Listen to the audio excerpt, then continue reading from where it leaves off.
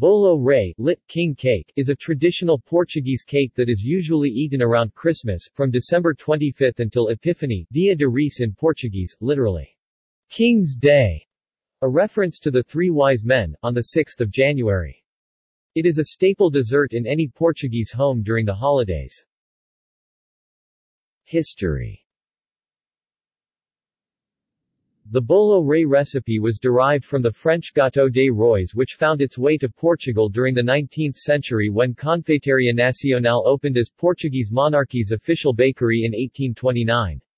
The Confeitaria was the first to introduce this recipe to the country. The cake itself is round with a large hole in the center, resembling a crown covered with crystallized and dried fruit. The bolo rei is baked from a soft, white dough, with raisins, various nuts and crystallized fruit. Also included is the characteristic dried fava bean, and tradition dictates that whoever finds the fava has to pay for the bolo rei next year. A small prize, usually a small metal toy, was also included within the cake. The inclusion of the prize has been discontinued since the mid-90s, due to potential choking hazards.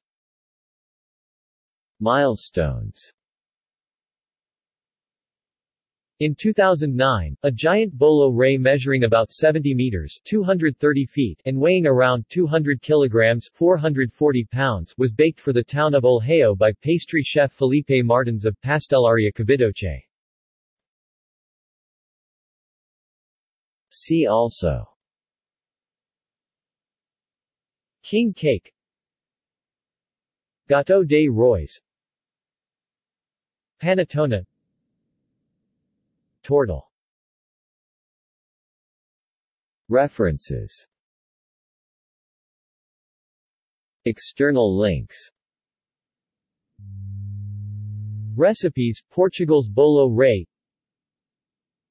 Euromax à la carte Bolo Rei from Portugal recipe